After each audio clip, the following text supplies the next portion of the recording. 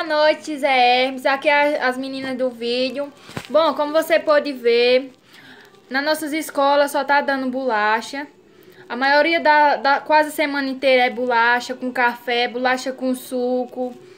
E só é isso que dá pra nossa escola. A gente quer uma merenda de qualidade, né não, Cláudia? É, a gente quer mudar a nossa escola. A gente quer que venha uma merenda melhor. Onde é que essa merenda tá se socando? Onde é que as frutas as coisas de qualidade da merenda dos alunos estão ficando. É isso que a gente quer saber. A gente quer melhorar a nossa cidade, a gente quer melhorar a nossa escola, a gente quer alguma coisa pro futuro. A gente tá reclamando porque é a verdade.